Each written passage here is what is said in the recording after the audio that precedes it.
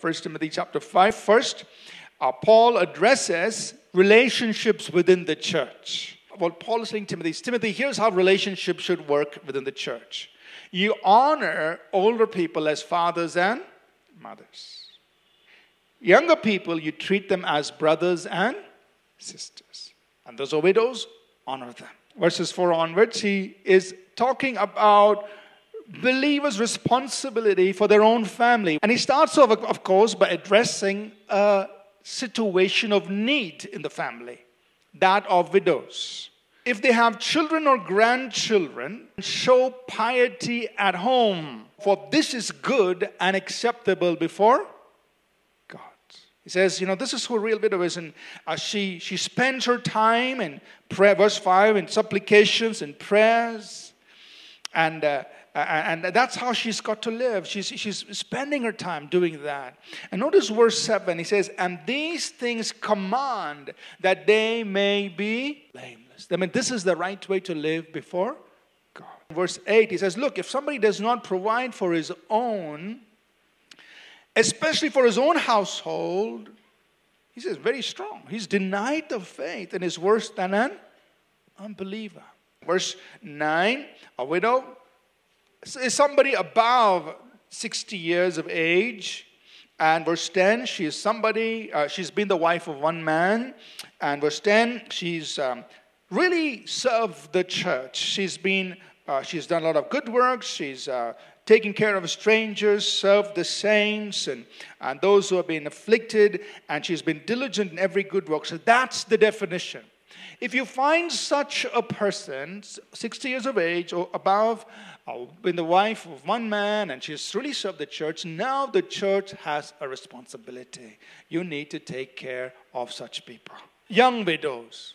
And what's Paul saying there? He's saying basically, if young widows uh, they're left by themselves, they get into all sorts of unnecessary things. So he encourages in that passage there, let uh, verse 14, let them marry, bear children, manage a home. The church should really take care of people who do not have the means to take care of themselves. But those who have the ability, they should take care of the parents or the grandparents, take care of them. Verse 17 Let the elders who rule well be counted worthy of double honor, especially those who labor in word and doctrine. Now, implying there that, look, we're going to treat everybody with honor, but the elders, the word elders as a presbyter, that means uh, it's used for anybody in spiritual leadership.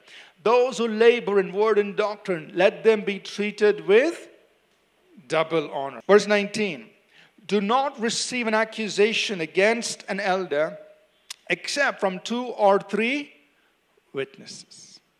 So if somebody comes and says, so he's telling Timothy, look, somebody comes and tells you, okay, I found some problem here with this leader. You know, you appointed him and got it from. You don't make a decision based on one person's words. What do you got to do? Investigate.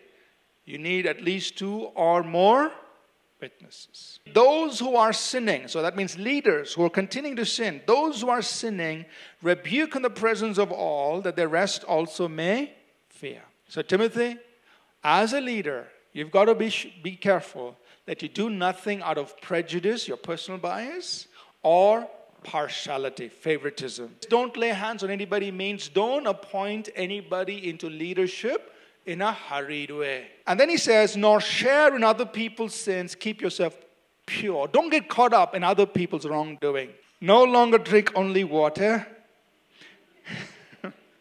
but use a little eno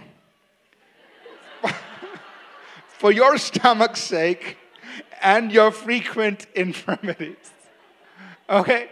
Now, Paul is addressing a problem Timothy had. He had a stomach problem, right?